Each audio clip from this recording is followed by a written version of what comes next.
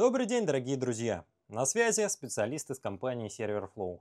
В этом ролике мы с вами поговорим о интересном ускорителе. Дело в том, что прямо сейчас перед вашими глазами находится ускоритель под названием Huawei Atlas 300i Model 3000. Дело в том, что это не видеокарта, хоть и выглядит он как-то похоже. Выглядит он то ли видеокарта, то ли такой, знаете, SSD-шник в формате HHL. Но это NPU – это специализированное устройство для ускорения задач, связанных с обработкой искусственного интеллекта. И вот в этой маленькой карточке, которую вы видите прямо сейчас, находится 32 гигабайта памяти. И эти 32 гигабайта памяти достаются вам по достаточно демократичной цене. Таким образом, эти ускорители сыскали славу достаточно бюджетных карточек для локального развертывания искусственного интеллекта. В этом ролике я бы хотел вскрыть один из таких ускорителей и продемонстрировать вам, что же находится внутри него благодаря чему компании Huawei удалось достигнуть вот тех вот показателей производительности, которые может предоставить эта карточка. Давайте возьмем отверточку и тихонечко это все препарируем. А пока мы это все препарируем, я буду тихонечко вам рассказывать про характеристики этого чудесного ускорителя. Итак, Первое, о чем стоит поговорить, это то, что этот ускоритель дает вам 22 топса Wind 8. Конечно, кто-то может сказать, что по сравнению с сегодняшними встройками всякие новомодные и процессоры, встраиваемые в ноутбуке, это как-то даже сравнимо с ними, а в чем-то даже меньше. Но я хочу вам сказать, вот таких карточек можно поставить в один сервер порядка 6 либо даже 10 штук. И в этом и заключается их преимущество, что они маленькие, компактные, не требуют дополнительного питания и располагают своей памятью. Дело в том, что вот эти вот все встроенные NPU-шки в процессоры используют оперативную память в качестве э, памяти для развертывания искусственного интеллекта, а у этого ускорителя память своя а значит нейронка будет работать быстрее. Помимо того, что эта карточка имеет 22 топса, она еще офигенно работает с обработкой фотографий и видеопотоков. Дело в том, что этот продукт, он по факту представляет из себя симбиоз. Симбиоз карточки для инференции искусственного интеллекта и симбиоз карточки, знаете, для видеоаналитики. То есть конкретно вот эта карта, она может тянуть за собой внимание 80 каналов декодирования H264 либо H265 25 кадров в секунду. Прямо сейчас у вас на экране выведу подробные характеристики по работе с видео, но также хочу сказать, что она умеет работать и с фотками. Дело в том, что эта карточка может себе позволить декодировать 256 кадров Full HD в контейнере JPEG. Согласитесь, это очень недурно и как вы понимаете, многие из камер видеонаблюдения поддерживают функционал просто упаковки фотографий, и для каких-то задач это может быть также полезно. Итак, теперь, когда мы открутили с вами все болтики, мы с вами будем пытаться этот ускоритель тихонечко приоткрывать. С учетом моего опыта, который я получил при вскрытии карточки, точнее не карточки, а SSD накопителя Intel, я буду делать это вдвойне осторожнее. Количество все-таки термопрокладок здесь серьезное. И мне нужно понять, как это сделать. Кстати, здесь на ребре вы можете заметить то самое название модели.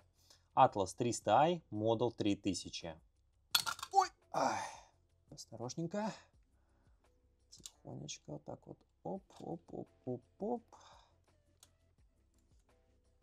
Оп. Да, теперь у нас все получилось. Итак, давайте внимательно смотреть. Что у нас с вами перед глазами? У нас отделилась система охлаждения. Мы можем видеть, что система охлаждения сама по себе выполнена в виде такого монолитного куска, я так полагаю, это медь. Вот. Для всех чипов, которые расположены на печатной плате, а, здесь имеются посадочные места. Под посадочными местами я подразумеваю вот такие вот пятаки, которых здесь действительно немало. И непосредственно теплоотвод производится при помощи вот этих вот пятаков. Используется так называемая терможевачка, хотя это больше похоже даже на термопрокладку. Итак, сама печатная плата. Как вы можете заметить, здесь мы не наблюдаем какого-то большого процессора. Дело в том, что на самом деле в этом э, ускорителе находится не один, а четыре маленьких процессора. Ну, правильно называть их, правда, не процессоры, а NPU-шки. И вот эти вот чипики, которые чуть больше, чем чипики памяти, называются так называемые Ascend 310 AI процессор. И вот этот ускоритель, он работает по принципу бифуркации. Каждый из этих чипиков, конкретно в Model 3000, имеет по две линии PCI-Express, и они все сходятся вот сюда вот в шину. И в конечном итоге это устройство работает через PCI-Express X8. Нужно понимать, что Model 3000, он больше, как я понимаю, под ARM-системы заточен, поэтому здесь используется X8 шина. Model уже 3010, там э, каждый подключается через э, не 2, а 4 линии, поддерживается стандартная бифуркация, и там в этом деле все работает немножко попроще. Так, а теперь, чтобы показать вам, что здесь есть что, я так понимаю, мне придется все это дело почистить, а потом воспользоваться новыми термопрокладками. Ну или терможевачками. Спустя 5-7 минут кропотливой работы мне удалось очистить системную плату от терможевачки и нашему вниманию открывается внутренний мир Huawei Atlas 300i. И как я уже говорил ранее, здесь в действительности имеется 4 чипа. 4 чипа, которые работают в рамках бифуркации по 2 линии. То есть каждый из чипов подключается в шину PCI Express через 2 линии. Каждый из чипов имеет по несколько чипов памяти. И получается, что весь объем 32 гигабайта, это у нас получается совокупный объем всех четырех чипов.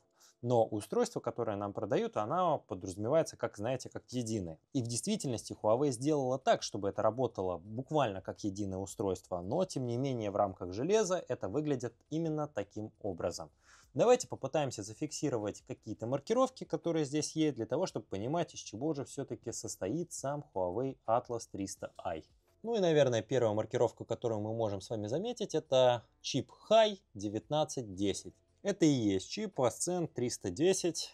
И таких чипов у нас здесь с вами 4 штуки. Помимо этого на системной плате виднеются другие чипы производства High Silicon. Например, здесь имеется еще один чип с маркировкой Hi6421. Ну и, в принципе, в рамках моих познаний в электронике я бы сказал, что это какой-то контроллер питания, но, думаю, более подробно можно посмотреть в даташите. Получается, таких чипов здесь 4, и я действительно считаю, что это контроллеры питания. Также здесь имеется такая большая катушка индуктивности, но не берусь утверждать, что это действительно кадушка индуктивности, все-таки у нее такая интересная BJ-пайка, и вдруг там какие-то еще контактики интересные имеются с той стороны. И получается, что Huawei Atlas 300i работает вот в такой вот конфигурации. Также совсем забыл рассказать вам про вот эту память. Дело в том, что эта память тоже, она такая, знаете, немножко с приколом.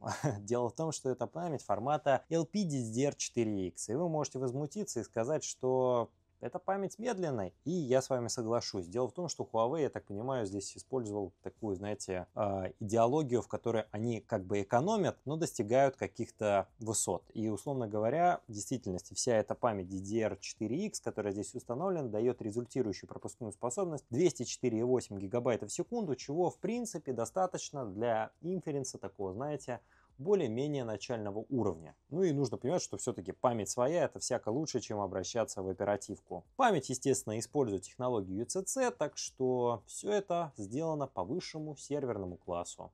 Таким образом, китайцам удалось создать вот такой вот маленький NPU, который может встраиваться в 1 юнит, в 2, даже, наверное, в 4 юнитовые сервера, хотя там зачем нужна такая маленькая плата расширений. И благодаря этим платам эти сервера получают и ускорение. На самом деле интересная разработка, и, наверное, каких-то аналогов э, не китайских сложно даже назвать. И отдаем должное компании Huawei, компании High Silicon, что вот эти все разработки сейчас выливаются в конкурентоспособные продукты, потому что все мы с вами знаем, что Ascend 910B, 910C в Китае очень сильно славятся. И, в принципе, положение компании Nvidia, которая у нас является, можно сказать, чуть ли не монополистом на рынке и э, именно в Китае, оно такое, знаете, шаткое, поскольку Huawei делает свое дело и предлагает вот такие вот конкурентоспособные решения, которые не дают NVIDIA стать монополистом.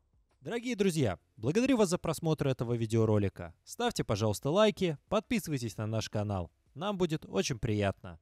В будущем будем продолжать вас баловать разнообразным серверным контентом. Ну а на сегодня все. С вами были ребята из ServerFlow. Приятного вам времяпровождения. До свидания.